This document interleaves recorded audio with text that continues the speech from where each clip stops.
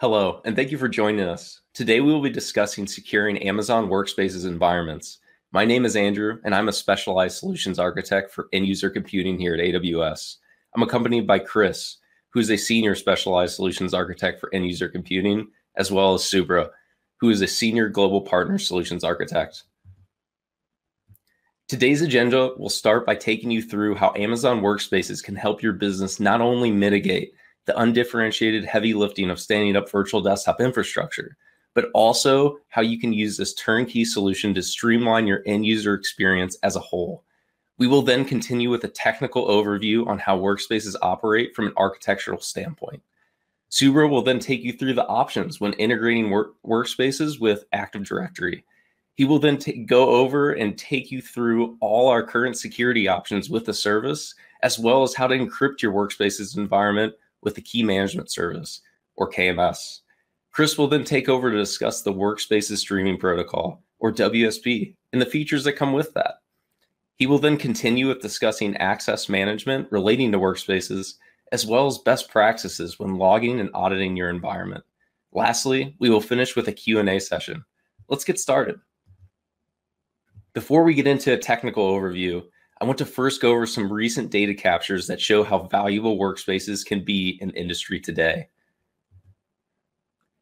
In 2020, we all needed to react quickly to shift to work from home. Practically overnight, almost all non essential workers had to be set up securely to connect from home and to perform the tasks their role requires. Fast forward to now, we have been operating this way for going on a year, and the panicked work from home phase is over. With vaccines picking up momentum, we have finally started to inch back to normalcy. This has shifted our conversations with customers to be more forward thinking, opposed to the proactive thinking we saw in the beginning of the pandemic. My customer conversations have been very consistent with the results of the study conducted by PwC that you can see on this slide. 83% of US executives say that they are heading to some sort of hybrid working environment and more than one in 10 are looking to get up, give up their office space entirely. This next visual shows that executives really mean it too. As you can see, 72% are increasing their investment in tools for virtual collaboration, and 70% are increasing their investment in IT infrastructure to secure virtual connectivity. This focus on securing IT infrastructure is what I would like to talk about today.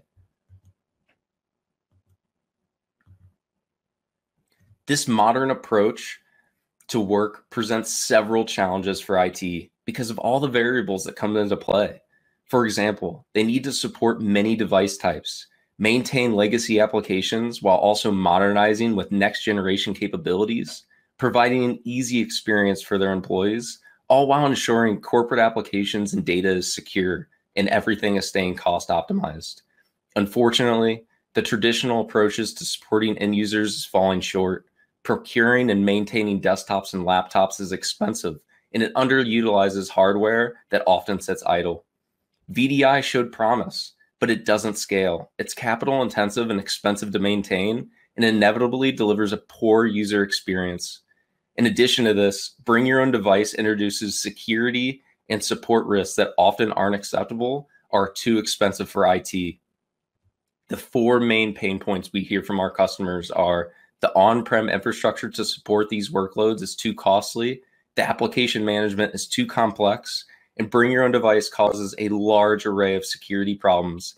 And even if everything is configured correctly, the end users are still stuck with a poor user experience. Let's begin to dive in on how Amazon Workspaces addresses these barriers. With Workspaces, we are able to take advantage of all the benefits AWS provides. Firstly, you can leverage our global infrastructure, which allows you to quickly provision workspaces all around the world while still abiding by the same agile pay as you go model. All of the benefits provided by our core services, such as EC2, EBS, and VPC Direct Connect, are also inherited by workspaces. These inherited benefits have already solved many of the previously mentioned barriers, as well as offer many of the characteristics you want to see in a global end user computing infrastructure. Let's walk through some common use cases where customers have had success migrating to workspaces. With bringing your own device, the Workspaces client supports an array of end user devices, such as iPads, Android tablets, Macs, PCs, laptops, and Chromebooks. Mergers and acquisitions are exciting, but introduce IT hardship of joining two existing environments. Leveraging the benefits of workspaces, onboarding all of your newly acquired users is a simple task that offers a consolidated approach for administrators. Mobile workers need a secure way to access network resources. Workspaces offers that and more. I will be going further in depth on how secure connections are offered by Workspaces in a few slides. Businesses need a flexible infrastructure to meet their current demand. Temporary workers typically used during peak season result in a temporary spike in usage. In a traditional environment, this causes a large upfront capital expense in idle, depreciating resources when peak season is over. Workspaces offers an agile, pay as you go solution that allows you to align your IT spend directly with the business's need. Now, I don't want to steal Subra's thunder on encryption options with workspaces, so I'll save that topic for later in the presentation. Development, training, and demo environments can be quickly spun up and provided to your users. When the resources are no longer needed, you simply get rid of them and stop the pay as you go meter from running. Lastly, you'll get all the critical compliancy requirements on workspaces because it is built on the compliant infrastructure of AWS. Let's quickly touch on a few workspaces success stories from this previous year. When the COVID 19 pandemic began and countermeasures required many employees to begin working from home in early 2020, the Fox Corporation needed a reliable cloud based solution that would enable them to deploy and customize over 5,000 remote desktops. They were able to deploy all 5,000 after just one to two weeks of testing. They immediately saw benefits from the flexible scalability and the improved security posture compared to a traditional VPN. Amazon was put in a similar position in the beginning of the pandemic. They were able, able to quickly scale at a rate of 3,000 workspaces a week to meet 25,000 remote worker requirement. This rapid response allowed them to onboard new users in minutes instead of months. It also reduced demand on IT support through the act of enabling self service capabilities. From a cost standpoint, Amazon estimates that their expected annual saving, eh, savings with this de- deployment was more than $17 million. Now that we have covered the benefits of deploying workspaces, let's dig into how workspaces operate from a technical perspective. One of the biggest things that makes workspaces unique in the industry is the fact that it's a managed service. What is a managed service? Well, when you're deploying on AWS infrastructure, we take all of the undifferentiated heavy lifting of physical hardware out of the picture. With a managed service, we take the underlying resources out of the picture too. This is a way for you to focus on what you want to deliver to your users and not how you're going to deliver it. As you can see on this slide, the underlying resources, the EC2 instance and EBS volumes, are within a managed VPC. This then begs the question how is this workspace able to communicate with your VPC's network resources? Well, as you can see at the bottom, an Elastic Network Interface, or ENI, is provisioned in the customer account and is attached to the workspace's underlying EC2 instance. There is also another ENI, referred to as ETH0, which lives in the management VPC. This ENI is what allows your users to securely connect to their workspace without the need of VPN. Let's dive into what this looks like at a more macro level. On this slide, I'm going to take you through how the connection process plays out with Amazon Workspaces. First, your user will enter their credentials and maybe an MFA code to the Workspaces client. The client will then initiate a TLS version 1.2 connection for authentication, which is all SSL traffic on port 443. The public facing authentication gateway will then evaluate this request and give it to the respective directory that the workspace is tied to. In this case, it is an AD connector pointed at an on premises corporate Active Directory. As you can see, see on step 6A, your domain controllers will evaluate this auth request as any other and if successful, will return a Kerberos ticket back to the gateway. If MFA is enabled, that will also be evaluated during this step. This ticket is then used to initiate a PC over IP AES 256 bit encrypted streaming session to the customer's workspace ETH0 that I mentioned on the previous slide. This architecture is how your user can securely gain access to your environment anywhere with an internet connection. Let's now talk about the VPC considerations pertaining to workspaces. In this VPC diagram, our workspaces are running in private subnets behind a NAT gateway that lives in public subnets. Workspaces require two subnets that are in separate availability zones to ensure resiliency. You will also notice that the directory services component, in this case an AD connector, was also provisioned in the private subnets. Each AD connector can have different directory level settings, such as what organizational unit will store the workspace's computer objects. In this diagram, two different AD connectors were deployed to accommodate two different business units. These directories are most likely pointed at separate organizational units so that administrators can apply group policy objects pertaining to the respective business unit. Please note, subnets cannot be changed once they are configured. This means that you will need to properly forecast your workspace's adoption by asking yourself questions like, how many workspaces will you need over time? What is the expected growth? What types of users will you need to accommodate? How many Active Directory domains will you connect? And so on. Let's quickly talk about Workspace's security groups, and then I'll hand it over to Subra to cover directory services integrations. When you register a directory to be used for workspaces, a default security group is created to be applied to every workspace that is created under that directory. This allows administrators to add stateful rules to a single security group, which will be inherited by all the respective workspaces. Please note, this security group is a hard dependency of the service, so don't delete it. You also can attach an additional security group at the directory level to apply both security groups to all workspaces under that directory. Also, since the ENI is in your account, you can manually add additional security groups just like you can with any other ENI within your environment. This concludes the technical overview for workspaces. Subra will now talk about how Active Directory can be integrated with Amazon Workspaces. Subra, the floor is yours. Thank you, Andrew. So from what Andrew has covered so far, we know that Amazon Workspaces uses a directory to store and manage information for your workspaces and users. That's great. Let's discuss how you can manage uh, directories for Amazon Workspaces and what options do you have. There are three options, and we can use one or more of them based on the use case or scenario. Let's consider the first scenario. You already have an Active Directory running on premises. How do you integrate workspaces with it? Answer is Active Directory Connector. This is basically a directory gateway that proxies your directory requests to your on-premises uh, Active Directory. You could also use this if you want to connect into Active Directory that you're running on AWS. One thing to note about this AD, AD connector though is it does not work as a standalone directory.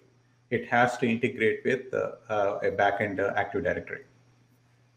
Now, let's consider the second scenario. You want to use uh, a managed Active Directory service. And does AWS offer one? Answer is, of course, yes. It is uh, called AWS Managed Microsoft Active Directory.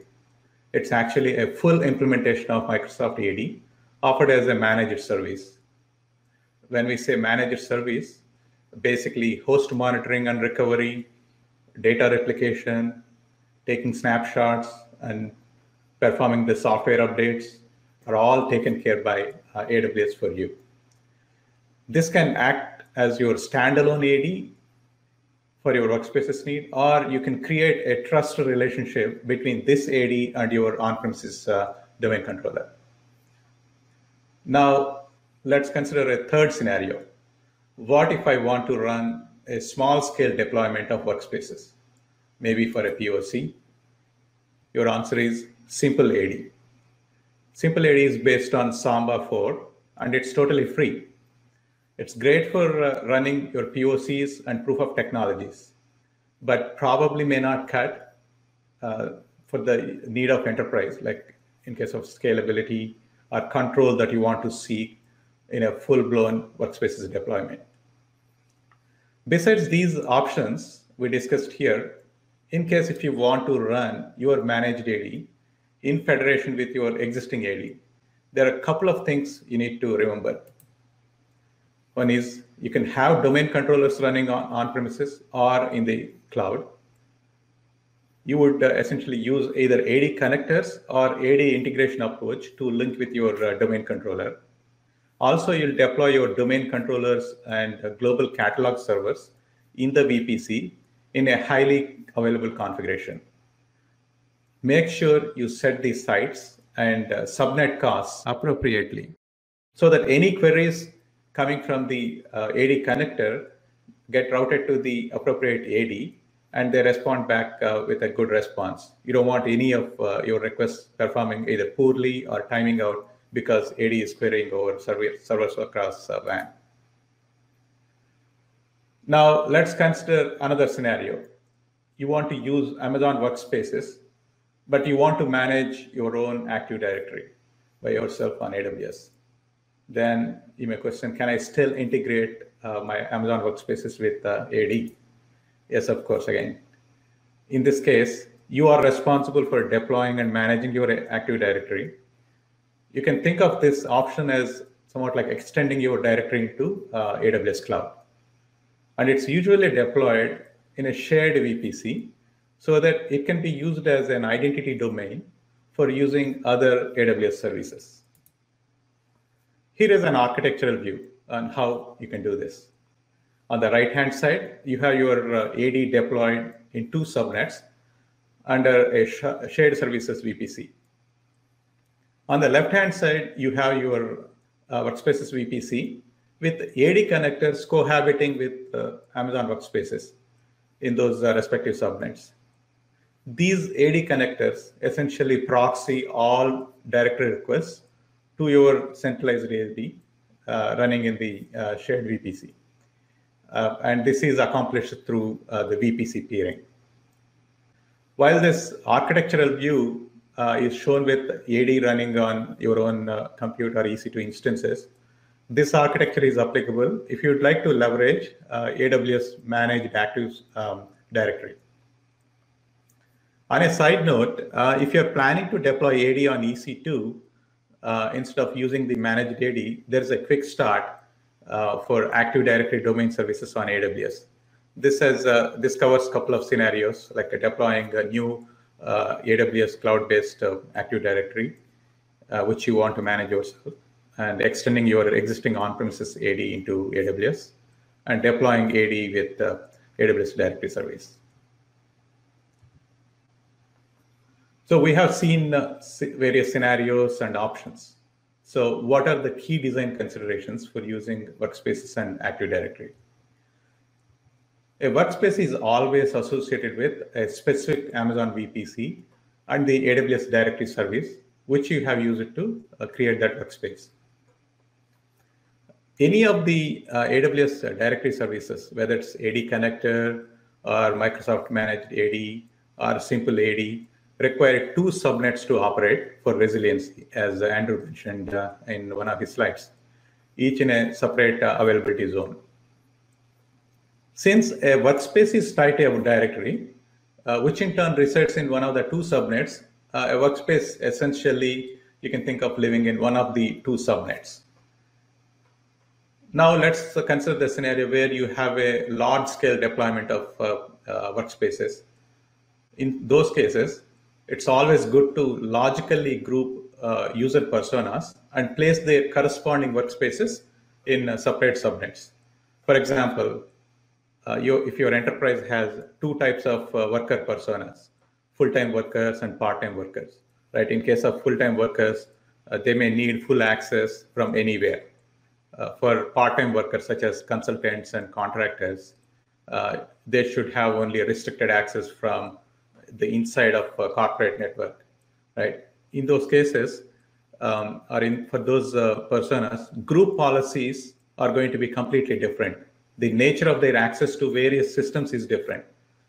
So basically, what we recommend in those cases is to use separate subnets and associate them with uh, AD connectors, link them uh, to the main AD hosted in the shared services VPC. And some of the rules to remember, um, a directory spans uh, exactly two subnets. You can uh, have multiple directories in one VPC. And each directory has its own uh, registration code. Uh, also note that a directory service can be separated from the workspaces um, subnets by use of uh, AD connectors. You don't need to have uh, um, ADs running in the same subnet. You can have them separate subnet and use the AD connectors to connect into. Now let's get into uh, the security and encryption aspects. Security is uh, job zero at AWS. What it means, it's more important than any number one priority that we have. AWS wants to ensure your workspaces are secure. Uh, since they are deployed within uh, Amazon Virtual Private Network, uh, we can securely provide access to persistent and encrypted storage volumes, which are integrated with the AWS Key Management Service. When I say key management service, it's a fully managed service that uses highly scalable hardware and software to provide uh, you with the uh, encryption keys and uh, and this KMS is scaled for the needs of a cloud. As far as workspaces are concerned, everything is done on AWS cloud. Workspaces client does not store any of your user data on the local device. This improves your security posture while reducing your blast radius or overall risk surface area, if you will. Amazon Workspaces support um, encryption of both root volume and user volumes. Let's look into how do you keep your workspaces secure with the latest uh, uh, patches security patches or updates. Right? You have two options here.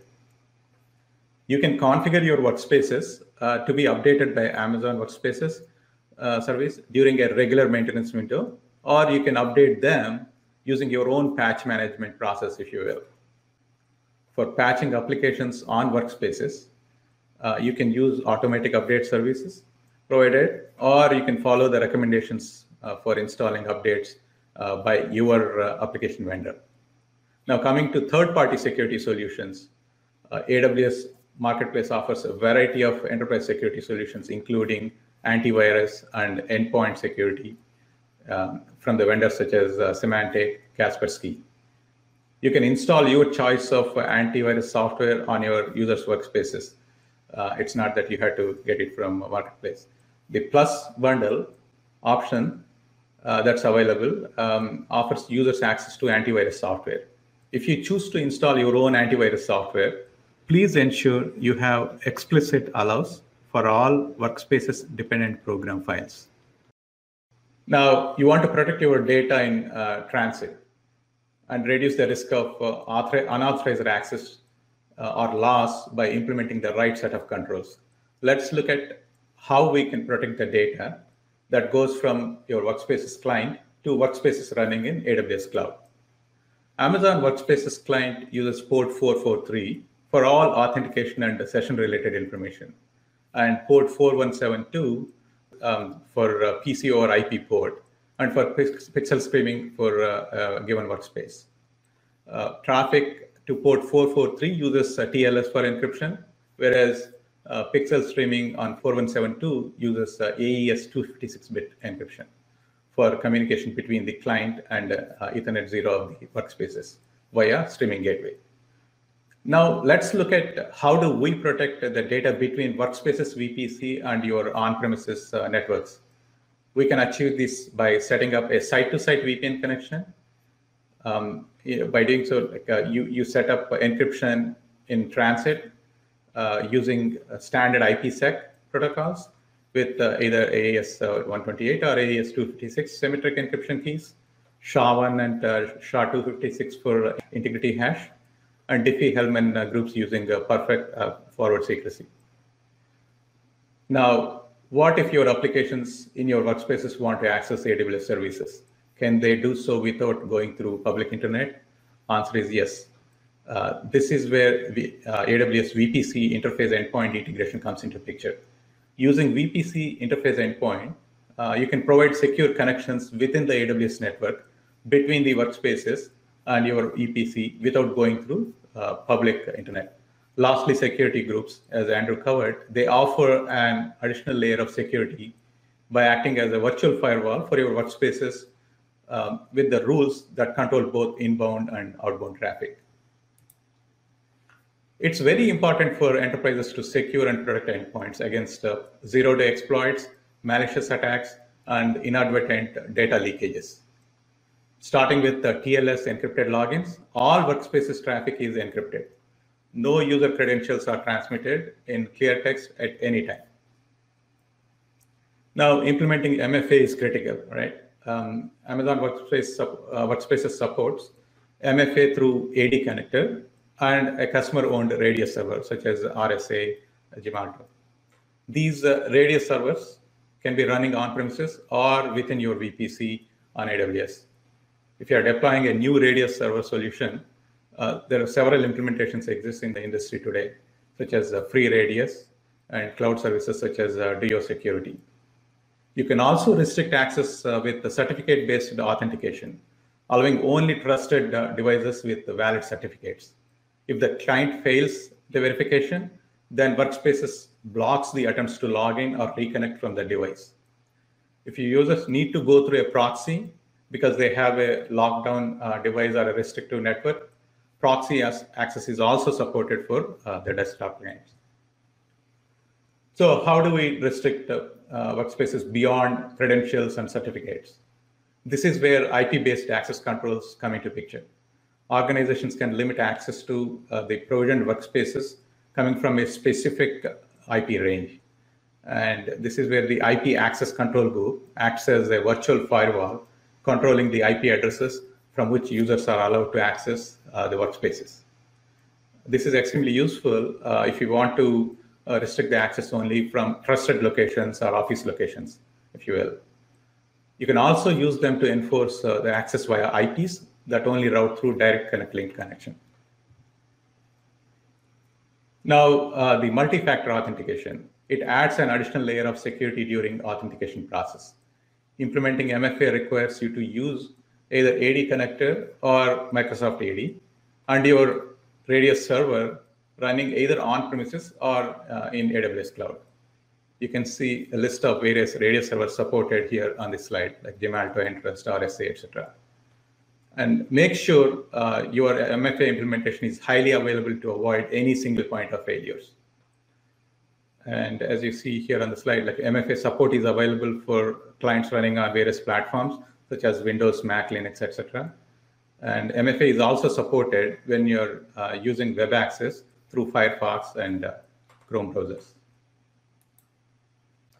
As we all know, denial of service attack is a deliberate attempt to make your website or application unavailable to users uh, by flooding it with uh, uh, network traffic. To avoid such attacks and limit the impact of failed password attempts, Amazon Workspaces client will display a CAPTCHA after five unsuccessful uh, login attempts. You need to enter the CAPTCHA code correctly before authentication is uh, retried.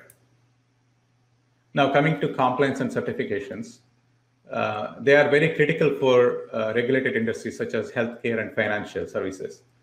AWS supports more security standards and compliance certifications and provides more auditing and reporting than any other public cloud offerings out there. You can read a sample list uh, on this slide, uh, SOC 123, ISO 9001, so on and so forth. And Amazon Workspaces is uh, HIPAA eligible. If you have uh, an executed business associate agreement uh, with AWS, you can start using Amazon Workspaces to deploy HIPAA compliant cloud desktops that access um, protected health information, PHI. Also, Amazon Workspaces is PCI DSS level 1 compliant. With this uh, compliance, Amazon Workspaces can be used to utilize applications and files that contain sensitive cardholder data. Now, Workspaces volume encryption. As we covered, um, Workspaces allows encryption of both root and user volumes. It is integrated with AWS Key Management Service, KMS. This integration en enables you to encrypt the storage volumes um, using uh, the customer master keys from KMS. This ensures that data is encrypted, whether it's at rest or during disk I/O to the volume, or when snapshots created from that volume. When you launch a workspace, you specify uh, to encrypt this root volume and user volume. Note that you can encrypt only at the launch time. The first time when you launch the workspace from Amazon Workspaces console, uh, work, Workspaces automatically creates an AWS managed CMK in your account. You can select this uh, AWS managed CMK to encrypt the user and root volumes of your uh, workspace. With that, I complete my part of the presentation. I'll hand it over to Chris, who is going to walk us through the rest. Chris, take it away. Thanks a lot, Subra. I'm here to talk to you about the Workspaces streaming protocol. At AWS, 90% of our roadmap is based on customer feedback. And since the launch of Amazon Workspaces, we've seen increased demand for increased security features, such as smart card authentication and the ability to contain audio and video data streams inside the virtual operating system. To improve our ability to control development and delight our customers, we've invested in the development of the Workspaces streaming protocol. In developing a proprietary protocol, AWS is better positioned to innovate based on direct customer feedback, delivering more frequent and targeted features. WSP decouples the streaming protocol from the Amazon workspace. This allows WSP to offload metric analysis and codec selection, as well as encoding from the workspace surface itself, using specialized microservices on AWS optimized endpoints for global distances and unreliable networks. This decoupling further improves customer awareness of traffic patterns, allowing you to increase real-time observation and alerting based on layered security policies, whether inherited as Subra described, from your existing Active Directory domains or in tandem with dynamic AWS security groups, IAM roles, and network access control lists. With the Workspaces streaming protocol, AWS adds the ability to utilize common access card and personal identity verification smart cards. The WSP codecs also offer true performance adaptability in response to real-time changes in each user's session. This allows WSP to provide a consistent user experience across global distances, even from unreliable networks. With fewer disconnects and reconnects, customers can reduce unnecessary login attempts, possible file locks, or hung sessions, which are common problems in many VDI solutions today. By improving session stability, customers can reduce operational noise around credential management. And at AWS, we architect both in terms of features and patterns, looking for opportunities to improve in both domains. WSP is improved by quick, independent microservice enhancements in the cloud. This enables frequent feature and performance enhancements, which require fewer updates to your Amazon workspaces. As a managed service, Workspaces is designed to reduce the operational burden of end user computing. And in developing the Workspaces streaming protocol, AWS offers the same turnkey access to end user computing, extending our proprietary architecture down to the protocol level. This improves our development agility and reaction time, both to customer feedback and any potential security threats. As Workspaces offers both a PC over IP and now a Workspaces streaming protocol experience, customers, of course, open with the question of which to use and in what circumstances. When considering PC over IP, it's important to factor whether you are already leveraging Teradici-based zero client devices. Customers who are already enjoying the security of this true zero client access will need to maintain use of the PC over IP protocol. The Workspaces streaming protocol allows you to unlock smart card access. This has historically been a blocker for a number of regulated and federal agencies. We are happy to announce this interoperability with the Workspaces streaming protocol. And as I mentioned earlier, this also unblocks the ability to encapsulate bidirectional audio and video within the endpoint session. From a network telemetry standpoint, this simplifies monitoring and where your traffic is going. Now I'd like to take you through how access management, logging, and auditing help you maintain adherence to your particular cloud governance framework. Subra and Andrew talked about best practices around technical and authentication patterns with AWS virtual private cloud architectures. Now I'd like to talk to you about how the AWS account structure is just as critical to developing a more agile, distributed security posture in the cloud. Having a single account is far less agile and secure. From a security perspective, a multi-account strategy will provide segregation of public and private facing services, allowing you to differentiate the risk profile for your various cloud computing needs, data classification, and also determination of consumer of service. More fundamentally, segregated VPC and account structures allow you to reduce blast radius. If an account is compromised, it is less likely to affect other workloads or spider out into the rest of your architecture.